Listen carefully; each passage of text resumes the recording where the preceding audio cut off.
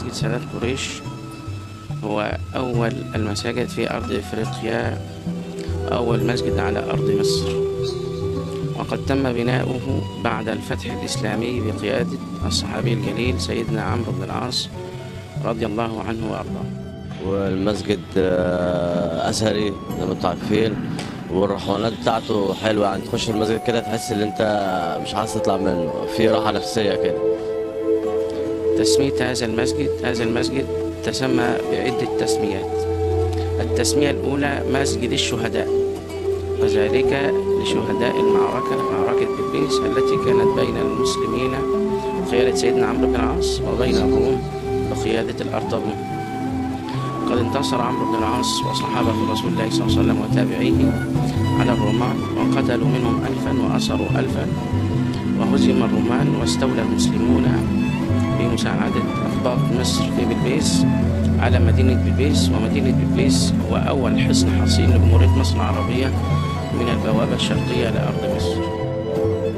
السقف من فوق كان آه، كفر كده يعني زي تراب كده. فعملناه سطحية من المونة ومن تحت اتعمل زي ما أنتم شايفين آه، رخام آه، اسهل وهذا المسجد على إسر قصر الحاكمة الرومانية أرمنوسا بنت المقوقس قيرس التي أسرها عمرو بن العاص رضي الله عنه وأرضاه. ثم أرسلها إلى والدها قيرس معززة مكرمة إلى الإسكندرية بصحبة سيدنا عبادة بن الصامت الأنصاري رضي الله عنه وأرضاه. ثم بعد ذلك عام 61 هجرية جاءت سيدتنا زينب بنت سيدنا علي بن أبي طالب رضي الله عنها وأرضاها وعن أبيها إلى أرض مصر لما قتل سيدنا الحسين في معركة كربلاء فرأت رسول الله صلى الله عليه وسلم في رؤيا في المدينة وأمرها رسول الله صلى الله عليه وسلم في الرؤيا أن تأخذ آل بيت رسول الله وتذهب إلى أرض مصر. وفي هذا المسجد استقبل أهل جمهورية مصر العربية في بلبيس السيدة زينب بنت الإمام علي بن أبي طالب رضي الله عنها وأرضاها استقبالا حافلا.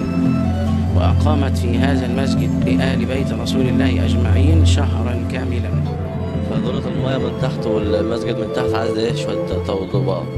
والمشاكل هنا برضك آه، الجامع تحس إن هو من جوه ضيق شوية الحتة اللي هي تبع الآثار اللي ورا دهيت. لو يسمحوا لنا إنها يدخلوها مثلا يصلوا فيها صلاة الجمعة وتتعرش كده تبقى حاجة حلوة ماشي. بس.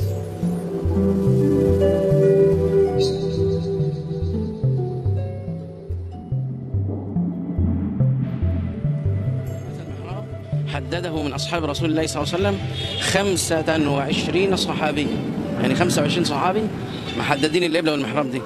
العمودين اللي في القبلة دول أعمدة فرعونية من أقيم الأعمدة التاريخية في مدينة بلبيس.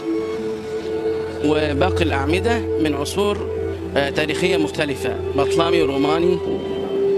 آه، صلى في هذا المكان أصحاب رسول الله صلى الله عليه وسلم. مدينة بلبيس مدينة عريقة. يذكر ياقوت الحموي في معجم البلدان أنها خامس أقدم مدينة على العالم. قد ذكرها الله سبحانه وتعالى في القرآن كناية في خمسة مواضع. ذكرت في سورة يوسف بالقرية. قال الله تعالى واسأل القرية التي كنا فيها. وذكرت بالمدينة في عهد سيدنا موسى عليه السلام أربع مرات كل كلمة مدينة في سورة القصص فهي تعني بالبيس. دخلها أنبياء كسر سيدنا إبراهيم ومعه زوجه سارة وسيدنا لوط ابن أخيه ودخلها سيدنا يوسف صغيرا عندما أخذ إلى أرض مصر ودخلها سيدنا يعقوب عندما استدعاه سيدنا يوسف وهو رئيس للوزراء على أرض مصر. وولد فيها سيدنا موسى وسيدنا هارون ودخلها آه، سيدنا عيسى رضيعا مع أمه مريم عليهم الصلاة والسلام. وأقامت في بلبيس يوما كاملا ثم توجهت إلى غيتا ثم إلى بعد ذلك إلى القاهرة في عين شمس